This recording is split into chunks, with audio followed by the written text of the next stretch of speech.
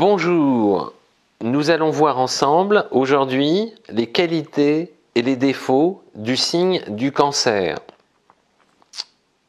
Tellement de qualités, tellement peu de défauts. Ça commence bien. Alors, je m'appelle Jean-Yves Espier, je suis astrologue depuis oh, une trentaine d'années. Euh, j'aime profondément l'astrologie. Ça a été un truc qui m'a apporté énormément en connaissance de moi et, et qui a éteint 90% de mes inquiétudes en ayant une vision de plus en plus fine et lucide de tous ceux qui sont autour de nous et tous ceux qui sont autour de moi par extension. Euh, c'est formidable d'avoir des, notions sur les caractères des uns et des autres. Voilà, euh, donc je vous transmets euh, ce que j'ai retenu, de ce que j'ai appris, comme ça un peu en vrac, mais on y vient. Alors le cancer. Le cancer, c'est un signe d'eau pour commencer, on va commencer avec du basique, hein, c'est un signe d'eau, donc les émotions, on le sait, hein, le, les signes de feu, on est dans l'assurance, l'affirmation, les signes euh, de terre, on est dans la matière, les signes d'air, on est dans la liberté, foutez-moi la paix, et les signes d'eau, on est dans l'émotion, dans le ressenti, dans les sentiments, dans la perméabilité, dans le, dans, dans, l'affect, en fait. C'est le signe qui incarne le plus l'affection, l'amour, la sensibilité, la réceptivité, etc. Le cancer, c'est ça. C'est le quatrième signe, c'est euh, celui qui correspond au minuit, c'est le foyer, le home, la maison, c'est euh, l'enfance, c'est aussi la fin de vie. C'est le cancer, quoi, tout simplement. C'est tout cet univers affectif dans lequel on est. Le maître, il y en a un, c'est la lune. La lune, c'est quoi? C'est notre partie intime, notre partie profonde. Nos émotions, nos ressentis sont hypertrophiés dans ce signe. Et quand on s'intéresse à un signe, quelqu'un qui est né sous le signe du cancer, il faut avoir en tête un truc tout simple, mais qui va changer du tout au tout d'un cancer à l'autre. C'est où est la Lune au moment où la personne est née? On, sait où est le Soleil, il est en cancer parce qu'entre en gros le 22 juin, 22 juillet, il est en cancer, mais il a un maître, ce signe, qui est la Lune. Donc il est très important de savoir où est la Lune. Bref, mon cancer, on y va, on rentre dans le concret des qualités des défauts. Il est sensible hypersensible. Les émotions sont affleurantes, à fleur de peau. Que ce soit homme ou femme, les deux, c'est le même système. Après, il y a des systèmes de plus ou moins d'ouverture, de carapace pour accéder au profil qui sont différentes. Mais, mais c'est très important. Qui dit sensible, dit perméable, dit susceptible. Très susceptible, mon cancer faut faire très attention à ce qu'on leur dit, parce qu'ils retiennent tout. C'est une éponge, c'est une mémoire d'éléphant. J'y reviendrai tout à l'heure à la mémoire d'éléphant. Euh, si vous leur tenez un discours le lundi et un discours le vendredi, si ce discours est linéaire, ils sont en confiance. S'il y a des variations dans le discours du lundi et du vendredi, ils sont complètement parano, tous les voyants dans leur tête se mettent au rouge, ils sont méfiants comme pas deux, déjà qu'ils sont sur la défensive, ils vont se replier comme des huîtres, comme le crabe. Il n'y a plus rien à en tirer, ils sont refermés, ils n'ont plus confiance, ils se méfient, vous êtes morts. Donc il faut être très linéaire dans le discours avec mes cancers. Euh, attention à cette hypersensibilité. Euh, ils sont d'une délicatesse tout à fait, en général, tout à fait exquise pour dire quelque chose, pour faire passer un message, pour euh, vous faire comprendre ce qu'ils ressentent. Ils font des arborescences, des tours, ils cherchent le bon mot, ils attendent le bon moment. Euh, si à l'inverse, euh, lorsqu'ils sont confrontés à quelqu'un qui leur vole dans les plumes comme un gros bourrin, un gros hussard, notre cancer, il va se replier, il va nous faire du boudin, parce que le cancer, c'est le roi du boudin. Ça, si l'inventeur du boudin, ça doit être un cancer, parce qu'il fait la gueule et dit rien et se replie, un enfer. Il n'y a plus rien à en tirer, on a les dans tous les sens, c'est fermé. Une fois que c'est verrouillé, c'est une forteresse, c'est un blocos le truc. Hein. Cancer, c'est une prudence défensive, quoi. Grosse carapace. L'émotivité chez le cancer, c'est un truc vachement important. On l'a vu, la caisse de résonance de l'affect gère toute sa vie. Mon cancer, homme, il se referme, femme aussi, mais chez la femme, c'est la, la densité du ressenti est complètement hypertrophiée ma femme cancer a besoin de vivre au quotidien dans un environnement qui n'est pas conflictuel. Ma femme cancer, elle rentre dans une pièce, il y a 10 personnes, il y en a un qui fait du boudin ou qui fait la tronche ou qui va envoyer une vacherie, il lui faut 10 secondes pour le repérer et 10 secondes pour identifier qu'elle va avoir des problèmes avec lui. L'intuition est extrêmement fine chez la femme cancer. Elle sent le truc à un kilomètre arriver. Elle voit venir ce qui se passe. Elle a en mémoire les 100 expériences et les 1000 expériences précédentes qui font qu'elle fait les ramifications instantanées de ce qui l'attend. C'est un radar à émotion et elle sent avec une intuition absolument redoutable, pour ne pas dire exceptionnelle, l'environnement dans lequel elle est. Et comme elle a besoin de vivre au quotidien dans un environnement paisible, bienveillant, stable, tranquille, linéaire, euh, peinard, avec des rituels, des habitudes, euh, immédiatement elle s'en fait un film, elle, est perturbée, elle endort mal, elle est malheureuse, elle, elle est, complètement chamboulée avec des variations d'émotions, des amplitudes et des répercussions physiologiques qui vont avec, etc. Donc chez mes cancers et chez la femme cancer en particulier, le fondamental, c'est d'être dans un environnement au quotidien qui soit le plus zen, apaisé, tranquille. Sinon, on a des réactions en cascade complètement inattendues. Alors, effectivement, il y a le boudin, mais il y a aussi des colères, il y a aussi des grognements, il y a aussi des coups de gueule, il y a aussi des crises d'autorité pour des, pour des bullshit, pour des détails, pour un sketch, pour un machin de travers, parce qu'on va pas aborder le truc frontalement, on va trouver, on va faire le tour, parce qu'on va avoir peur de blesser, on va rien dire. Dix fois, et la onzième, mon cancer ou ma cancer, elle éclate, et on comprend pas pourquoi ni comment, ça nous tombe dessus, on l'a pas vu venir. Pourquoi? Parce que ça fait dix fois qu'elle aurait dû réagir ou qu'il aurait dû réagir avant, et donc elle attend la onzième fois qu'il y a un détail, une bêtise, une petite chose anodine qui réveille un agacement, et tout sort en vrac, on sort tous les sacs poubelles d'un seul coup, et on se prend tout en pleine poire, et, c'est l'horreur, quoi, parce que c'est complètement disproportionné. Donc les variations d'humeur chez le cancer, n'oublions pas que c'est un signe gouverné par la Lune, les variations d'humeur, elles sont constantes. La Lune a un rôle complètement majeur sur la psychologie de notre cancer. Les cycles féminins des 28 jours, et c'est extrêmement intéressant, les nouvelles lunes et les pleines lunes, de voir comment on se cale par rapport au cycle, parce que ça joue énormément sur nos ressentis en matière d'émotion, parce qu'il y a un autre effet secondaire chez le cancer qui fait que comme le degré, comme une sorte de curseur d'affect est toujours, a toujours besoin d'être maintenu à un niveau un petit peu équilibré, dès qu'il y a fatigue, dès qu'il y a perturbation, dès qu'il y a animosité, dès qu'il y a environnement stressé, etc., c'est le grand chamboule tout, et du coup, mon cancer, il part dans tous les sens. Il, il, devient complètement irrationnel et il perd pied et il se rattrape aux branches et il, est complètement à côté de ses pompes. Euh, donc besoin de quelque chose d'extrêmement linéaire, paisible et rassurant pour qu'il soit structuré. Il est très très dépendant de ça. Il est intuitif, on l'a vu tout à l'heure, notre cancer. Il est intuitif, il sent beaucoup de choses. Et puis, il anticipe, il développe, il va plus loin, il, il se fait des films. Euh, il, peut parfois partir sur des trucs, mais complètement imaginaires, euh, que ça soit, surtout chez les filles, un côté romantique, un côté hypersensible, mais merveilleusement attachant. Euh, le point faible qui va avec, c'est que mon, cancer, surtout chez les femmes, il y a un côté serane, serane qui ne voit rien venir et puis qui attend que le prince charmant vienne la chercher. Seulement ma femme cancer, si elle attend que le prince charmant vienne la chercher, elle risque d'attendre longtemps. Parce que le prince charmant, en général, ils sont rares, il y en a de moins en moins. Et puis, il y a un bruit court qui dit que non, Olivier, toi, oui, je sais bien, mais il y en a d'autres, euh, certes. Mais, et le pire, moi, c'est un truc que j'ai remarqué, les types qui sont euh, euh, beaux, gentils, intelligents, brillants, propres sur eux, ouais, comme toi, Olivier, mais fais gaffe, en général, ils sont homo, les mecs qui sont comme ça. Le, le prince charmant, il est gay, voilà, il faut vous faire une raison. Donc, essayez de trouver des types gentil, parce que ça c'est extrêmement important, et puis euh, simple, quoi, parce que le cancer c'est la simplicité, euh, besoin de gentillesse, qu'on vous tienne la main, qu'on vous rassure, euh, des mots tendres mais pas trop. Mon cancer il a horreur des grandes effusions en public. Par exemple, le lion il adore qu'on lui saute au cou devant tout le monde, qu'on dise oh, tu es merveilleux, tu es le plus beau, etc. Ouais, sauf toi que ta Vénus en vierge. Mais, mais, mais si ce n'est qu'en en général, mes cancers ils sont très pudiques. Il y a une, il y a une sorte d'humilité, de timidité de, de, pudeur. Mais du coup, vous refermez comme des huîtres, hein. allez vous chercher, c'est avec le chausse-pied qu'il faut décrocher le truc pour vous faire ouvrir un peu les, les, écoutilles, pour avoir un écho, un retour. Euh, euh, on, va, on, est obligé d'aller vous chercher. Il euh, faut apprendre à vous lâcher, à ouvrir plus l'affect, les émotions, être en confiance. C'est un enjeu super majeur. Voilà.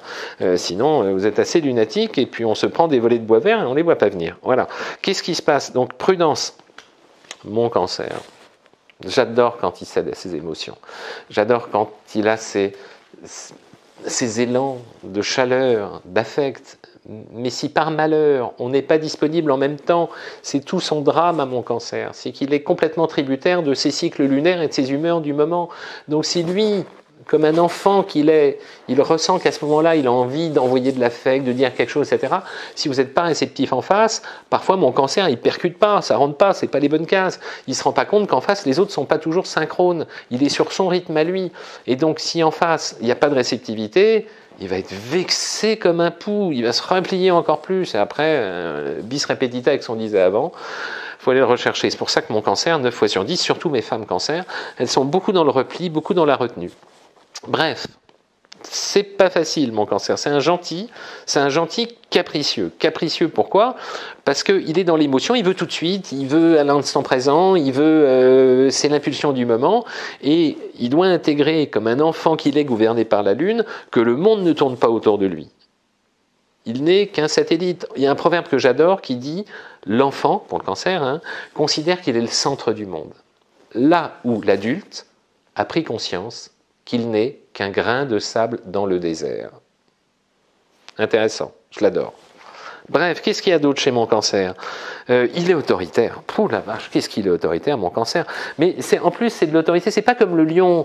Euh, le lion a une autorité globale, une autorité d'une dynamique directrice, une sorte de, verticalisation. Chez mon cancer, ce sont des, crises d'autorité affective sur un, point de détail, sur une petite chose, sur, euh, euh, sur l'humeur du moment. Toujours pareil, l'humeur, gérez vos humeurs, mes cancers. C'est une cata parce qu'on ne vous comprend pas, c'est terrible. Hein. Euh, qu'est-ce que j'ai oh, Qu'est-ce qu'il a besoin d'être assuré? Mais au-delà du raisonnable. Les doutes permanents chez le cancer, les doutes, les interrogations, le manque de confiance en soi ont besoin, besoin d'être rassurés, plus que de raison. Plus vous allez travailler votre confiance en vous, et plus vous allez me réduire ces doutes qui sont complètement paralysants. Euh, et puis quand on est dans des phases de paralysie, ben c'est pas terrible pour le moral. Hein. Moi, j'ai besoin que vous ouvriez sur l'extérieur au maximum. Hein, et puis surtout, videz-moi tous les sacs que vous traînez. Euh, vous, le cancer a tendance à accumuler, à accumuler le vécu, le vécu, tout ce qu'on a vécu avant. Et puis du coup, on, a, on accumule des sacs, des sacs poubelles. Il euh, faut faire le ménage. Quoi. Il y a un moment où il faut ouvrir la porte et puis on, balance à la poubelle 10, 20, 30, 50 sacs qui doivent dégager, quoi, parce que ça pollue l'esprit, ça pollue l'espace, ça empêche d'avancer. C'est un frein, c'est un, boulet, quoi, tout simplement.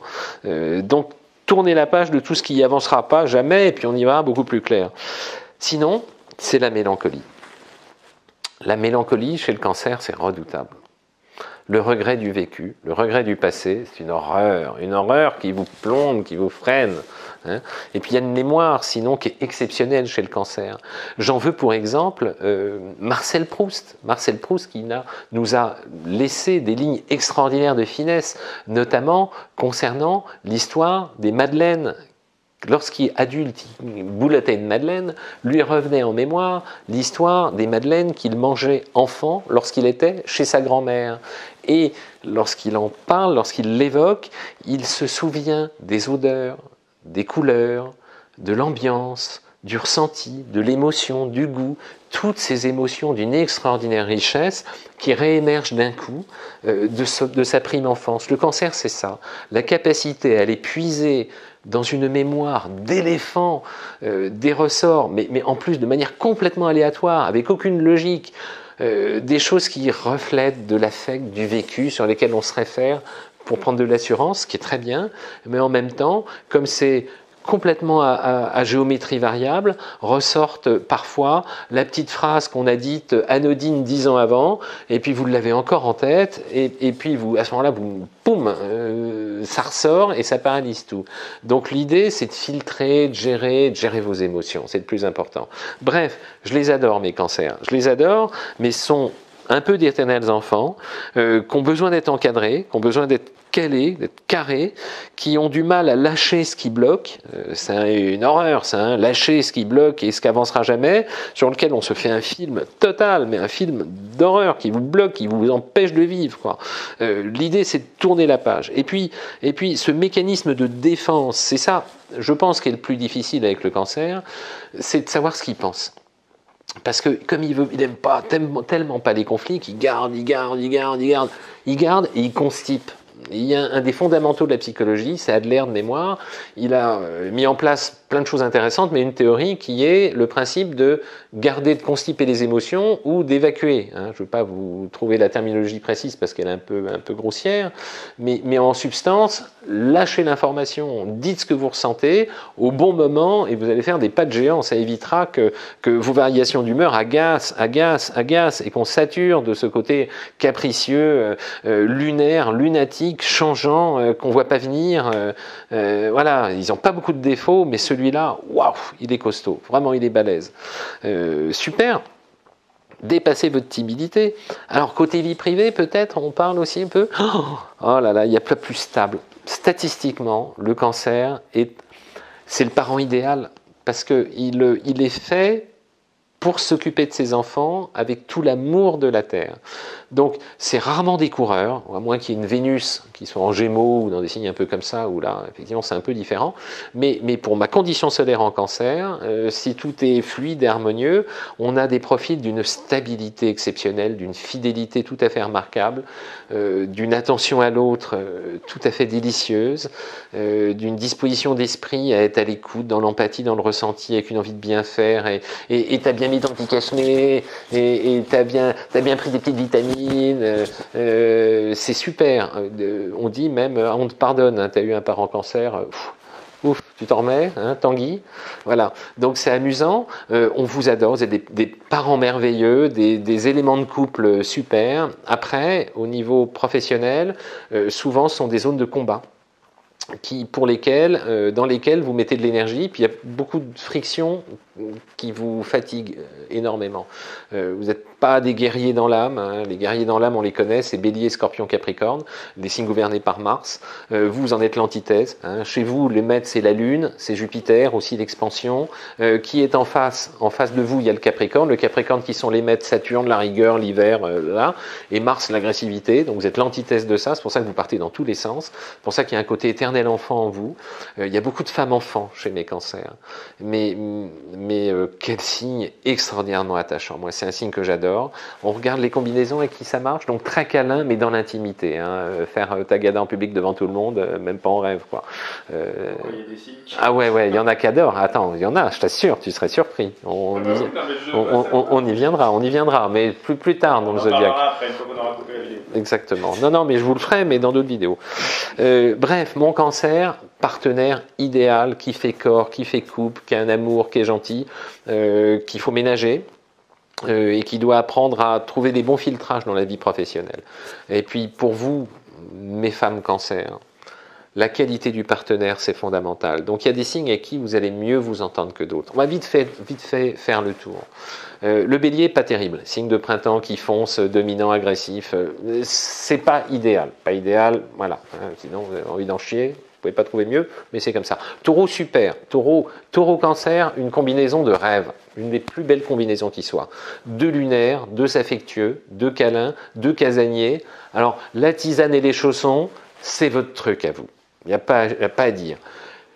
Cancer Gémeaux, ah, on connaît le Gémeaux et son côté euh, changeant mercurien mobile. Euh, on est mieux amis quand même, hein, au moins on rigole. Euh, cancer c'est le couple de parents, euh, hormis les enfants et les câlins, qu'est-ce qu'il y a d'autre dans la vie euh, What else, comme disait l'autre, on se demande. cancer Lion, cancer Lion ça marche pas mal. On a deux éléments stables, deux éléments stables, parce que tous les deux ils veulent que ça dure.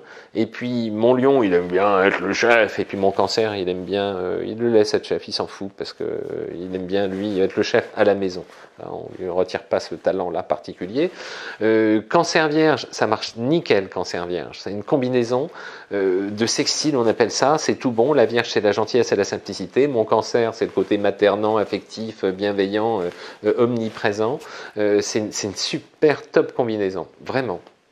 Cancer, il est un peu lunatique, hein. la langue, la Vierge en a un peu ras-le-bol, mais, mais sinon c'est pas mal, vraiment sur la durée. Si mon cancer n'est pas trop envahissant, c'est du bonheur. Cancer balance, c'est les deux qui n'aiment pas la guerre. Ça, ça marche pas mal. Mon, ma balance, elle aime bien plaire, ça un peu agace un peu le cancer, mais sinon, dans l'absolu, c'est aussi des trucs de paisibilité qui marchent bien. Cancer scorpion, ah la vache, ah, ça on s'ennuie pas, un cancer scorpion. On est dans le monde de l'eau, on est dans le ressenti, on est dans l'intuition très fine, parfois on, a l'impression de se, comprendre sans se parler, euh, si ce n'est que mon scorpion, il a un petit peu tendance à sadiquer mon cancer. Mon cancer, c'est un gentil, il a un côté victime, euh, il n'aime pas les emmerdes, il encaisse tout, puis scorpion, il a un côté j'adore piquer, j'adore titiller. Ils ont des relations parfois un peu sadomaso qui sont limites, mais sinon ça marche pas mal. Cancer sagittaire, alors là on est dans les valeurs. Le seul risque avec le Sagittaire, c'est un petit peu comme, euh, les aventuriers de l'Arche perdue. Moi, dès que je parle d'un Sagittaire, j'ai en tête Indiana Jones. Il n'a qu'une envie, c'est prendre son sac, son coupe-coupe et débrousser la forêt vierge, donc il risque de se carapater. C'est pas toujours rassurant pour le cancer. Cancer Capricorne, là, on est vraiment dans le devoir. C'est l'axe de il y en a un qui fait carrière et l'autre qui s'occupe de la maison et on n'a pas là pour rigoler. On est là pour remplir sa fonction, on est sérieux, fiable faut inviter un Gémeaux de temps en temps. Au moins, vous allez vous marrer. Ça, serait mieux. Euh, cancer, verso, c'est pas top.